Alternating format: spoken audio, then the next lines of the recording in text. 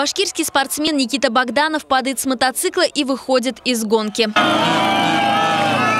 Падений на чемпионате Европы в целом было немало. Так Дмитрий Солянников из Стерлитамака во второй день повредил свой мотоцикл и сломал руку. 23-й чемпионат Европы по мотогонкам на льду проходил на протяжении двух дней на стадионе «Строитель». Спортсмены приехали из Австрии, Чехии, Нидерландов, Швеции, Германии, Финляндии, Италии и Бельгии. Однако победу одержал 34-летний спортсмен из подмосковного города Луховицы Сергей Макаров. За два дня гонок он набрал 31 очко из 32 возможных. Я очень доволен, все классно. Поддержка стадиона вообще здорово, то, что я в гостях и все равно зрители болеют, поддерживают поддерживают. Ну, наконец-то я добился этого результата, которого хотел. У меня две бронзы и серебро. И вот сейчас наивысшая медаль. Теперь весь полный комплект. Можно идти дальше к чемпионату мира. Отстав от победителя на два очка, серебряную медаль завоевал дебютант чемпионата Европы 21-летний уфимец Иван Чичков. Ну, рассчитывал вообще в тройку войти. У меня была задача попасть в призы.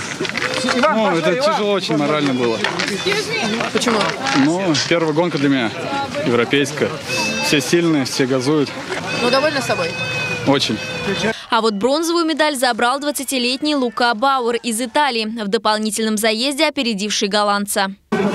Я абсолютно счастлив, и у меня нет слов сейчас. Это была отличная гонка для меня и прекрасная организация соревнований.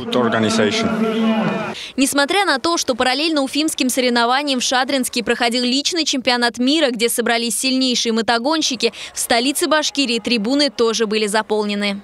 Я каждый год хожу на мотогонки. Вообще с детства нас воспитали, когда еще в молодости на стадионе строитель проходили, когда Рахман Кадыров участвовал, восьми, а, семикратный чемпион мира.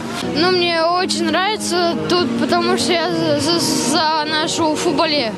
Уже в следующие выходные в Тольятти состоится командный чемпионат мира, поэтому соревнования, которые прошли в Уфе, стали хорошей тренировкой для гонщиков. Анастасия Ходик, Андрей Шарыгин, Роман Нагуманов, городской телеканал ЮТВ.